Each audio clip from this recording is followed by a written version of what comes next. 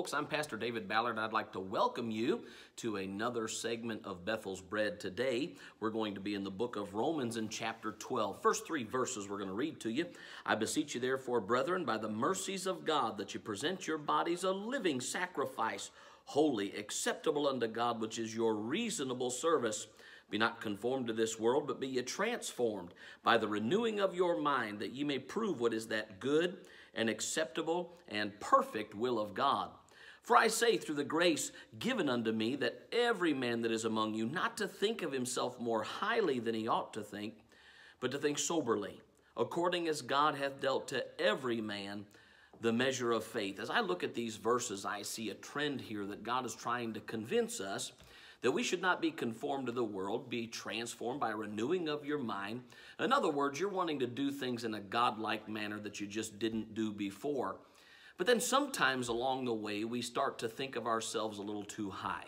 Sometimes we start to think of ourselves as more spiritual than probably we really are. Now, I think we ought to strive to serve the Lord and strive to get very close to Him, but we always must remember that we need God.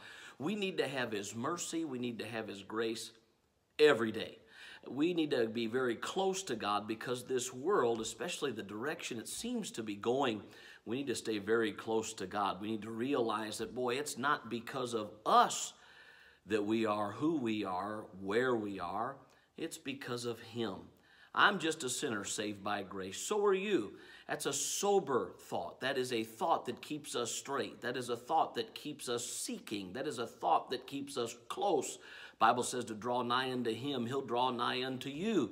That's what we're supposed to do. We're supposed to be looking for Him in everything we can do. Think soberly, not thinking higher of yourself than you ought to think. Because if you can look at yourself that way, it sure will help you as you're looking out at others. God is good to everybody. He's rich unto all that call upon Him. I hope and pray that you realize He's been rich unto you as well. And He needs to be rich unto you and me every day of my life. I need Him and I hope you realize that you do too. God is sure good. This has been another segment of Bethel's Bread. I hope it helps you, and I hope you have a great day. God bless you.